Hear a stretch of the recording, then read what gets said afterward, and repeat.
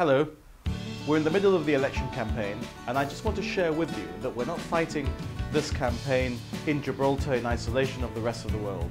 Already, from the socialist family across Europe, we've received best wishes on our campaign with friends that want to see us succeed. I've got a letter from Ed Miliband, the leader of the Labour Party in the United Kingdom, wishing us all the best. They're monitoring what we're doing and they like our campaigning style. But it's time for change, time for change. Time for some new blood. Someone that can truly understand. Time for change, time for change. It's time to rearrange.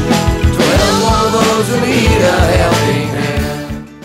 We've also been in contact with the Socialist Party of Morocco, who are very keen to work with us if we become the government of Gibraltar.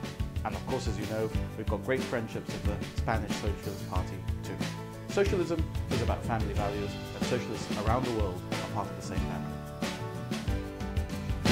But it's time for change, time for change.